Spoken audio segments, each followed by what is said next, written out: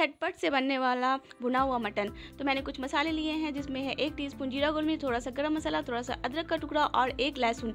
और इसे मैं हल्का सा पानी डाल के इसका पेस्ट में बना लूँगी। ये देखिए, ये मेरा पेस्ट तैयार हो गया। अब मैंने तीन प्याज लिया, इसे मैं चॉप कर लिया। अब कुकर में हम लोग मटन डाल रहे हैं। मटन मेरा हाफ़ के जी इसमें मैंने अनियन काट, कटा हुआ डाल दिया, पिसा हुआ मसाला। अब मैं थोड़ी सी दही डालूँगी इसमें, तीन टी थोड़ा सा हल्दी पाउडर थोड़ा सा धनिया पाउडर थोड़ी सी लाल मिर्च और थोड़ा नमक और मस्टर्ड ऑयल। और थोड़ा सा पानी डालकर मैं इसे अब तीन सीटी लगा लूँगी।